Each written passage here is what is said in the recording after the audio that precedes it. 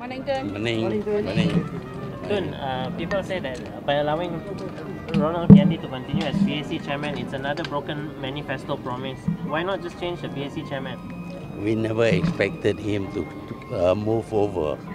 Dia daripada parti lawan. Kita pilih parti lawan. Itu memandang kita patuh kepada uh, apa nama uh, kita punya manifesto, janji kita.